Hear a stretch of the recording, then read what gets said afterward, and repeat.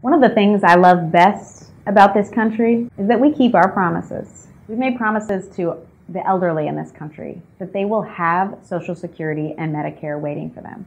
We've told our seniors that they can rely on Social Security. They've paid into it all their lives because there was a promise that that money would be there for them when it was time to retire. We must keep that promise and maintain the solvency of Social Security. A man is only as good as his word.